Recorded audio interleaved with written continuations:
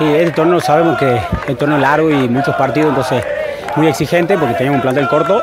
Entonces nada, sabía que iba a ser muy importante para, para ganar sobre todo la parte física y trata de plasmar lo que veníamos haciendo estos entrenamientos de pretemporada.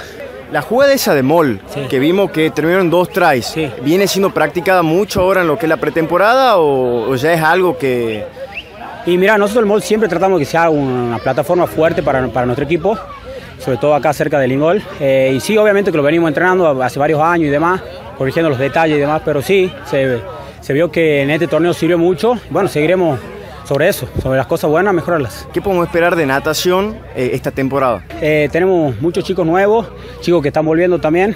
Y nada, nosotros tenemos una base de de cosas y demás que no negociamos y bueno, a partir de eso iremos a, competir siempre con los mejores y, y lo que mejor podamos.